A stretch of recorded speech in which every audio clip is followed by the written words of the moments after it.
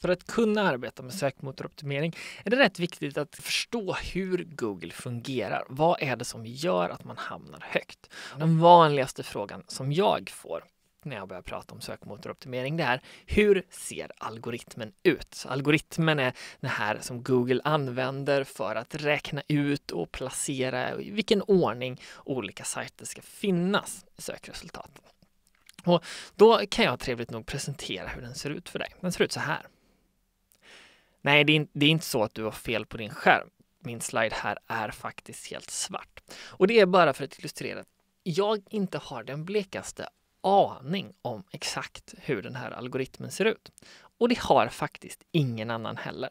Om de inte är högt uppsatta och jobbar på Google.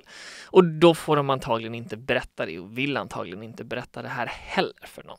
Så ingen vet egentligen exakt hur det ser ut. Och det är viktigt att poängtera, för det finns alltid de som hävdar att de vet exakt hur det ser ut. Men allt vi kan göra, det är kvalificerade gissningar. Men som tur är så är de i alla fall oftast ganska bra. Så hur fungerar Google då? Du har ju lovat att berätta om hur det funkar och ja, det ska jag göra.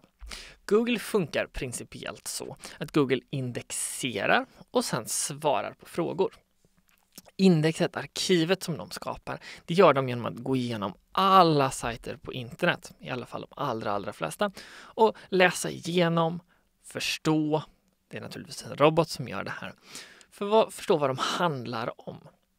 Och när de vet vad en sida på en webbplats handlar om, ja, då har den sparat så mycket info att när du skriver in en fråga på Google så vet den och då har den bestämt hur bra den här sidan sen då svarar på den här frågan. Vad den handlar om. Handlar den om det du skriver in eller inte? Och någonstans är det precis så som Google fungerar. Ett citat från Matt Cutt som tidigare jobbade med spam på Google för att försöka få bort dåliga sökresultat och folk som försöker lura Google. Han har sagt att vi vill att folk som gör sökmotoroptimering eller inte ens använder sökmotoroptimering ska fokusera på att skapa fantastiskt underbara webbplatser. Det är Googles filosofi. Du ska inte behöva syssla med sökmotoroptimering. Vi kommer svara på vilket är det bästa resultatet för användarens fråga. Och är du inte det bästa resultatet för användarens fråga, ja, då ska du inte synas högst upp heller. Och någonstans tycker jag det är en rätt bra riktlinje för att göra rätt och se till att man alltid gör rätt på Googles sida. Risk, inte riskerar att något dåligt ska hända heller. Men sen finns det också vissa hygienfaktorer, lite tips och tricks som vi kan använda tillsammans för att främja att Google läser vår webbplats på ett lite bättre sätt.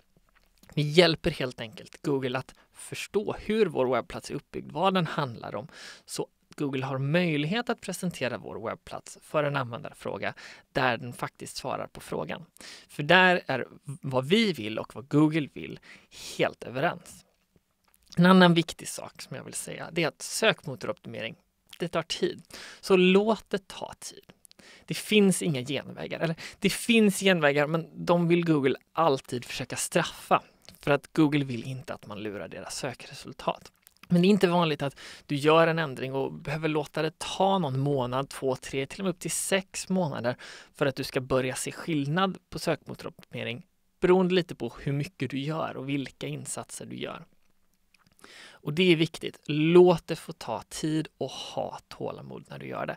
Så kommer du att se jättebra resultat av sökmotoroptimering.